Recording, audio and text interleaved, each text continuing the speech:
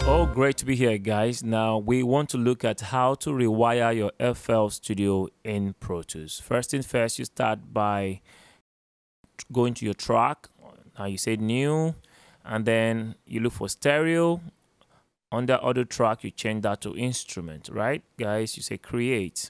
Now that you have this channel, you come to the insert A to E and click right inside the box. So you have instrument, go straight to your instrument.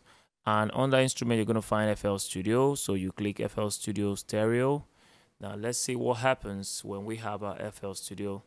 Now you have the opportunity of choosing an instrument. This part of this door. Come to this very one, which is the mixer. Okay. Now on the mixer, ensure that you are on the master. All right here on the master you're going to send everything out to 3 fl3 right? Because what you're going to be doing like you put an instrument here for example you decide to say okay let's bring drums or whatever instrument you bring to a channel here. When you are playing that very channel it sent straight into pro tools okay? So that way let's go into pro tools now and assign one or two. So inside pro tools of course you're going to also have something to assign here. This very one here take FL3 okay? You pick that. So that way you're going to have the communication back and forth from your Fruity Loops into your Pro Tools okay?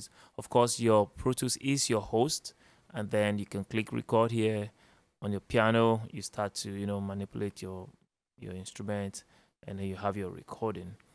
So that's just basically how to set up your FL Studio rewired straight into um, Pro Tools all right guys i want to believe that uh, helps a lot in terms of how you, you're trying to figure out what to do how to get your fl studio working inside of your pro tools. A thumbs up subscribe. Of course uh, remember to be the extraordinary